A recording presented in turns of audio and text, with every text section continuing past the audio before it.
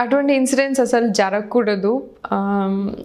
అసలు I mean I don't know how to express that and how long it takes for us to change the notion and change the mind set of this society in this thing but మనం ఇంకా చాలా చాలా చేయాల్సి ఉంది.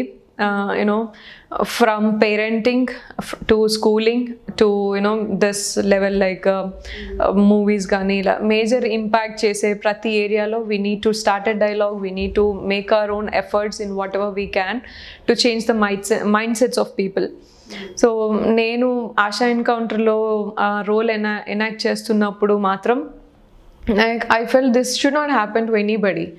And um, um, so whatever it takes uh, we need to take. Like you know first konni incidents vinnappudu i used to think uh, self defense is the only one of the solutions. Uh-huh. And that's the only solution we can offer. Like మన side నుంచి మనము ఏదైనా self defence పిల్లలకి నేర్పించడము self defence activities చేయించడము ఇట్లాంటివి చేస్తే కొంచెం తగ్గొచ్చు అని చెప్పేసి అనుకున్నా. కానీ that's really very small thing that we can do it's about changing the mind sets of people it can only happen through media through movies and you know through various activities that we take up wild parenting wild schooling వాళ్ళు చదువుకునే system దగ్గర నుంచి. ఇవన్నిట్లలో మనం సాధ్యమైనంత efforts పెడితే తప్ప hmm. Change అంటే అంత తొందరగా మనం చేంజ్ ఎక్స్పెక్ట్ చేయలేము. Hmm.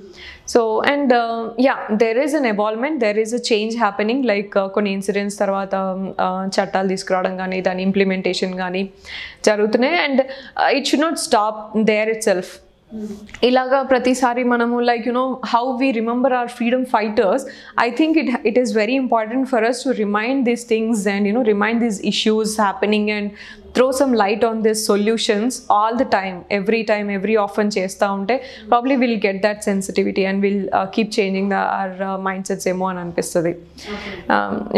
మేజర్గా సెన్సిటివిటీ అయితే ఉంది జనాల్లో ఇప్పుడు. కానీ ఇంకా కూడా చాలా కావాలి చేంజ్ రావాలి ఇంకా.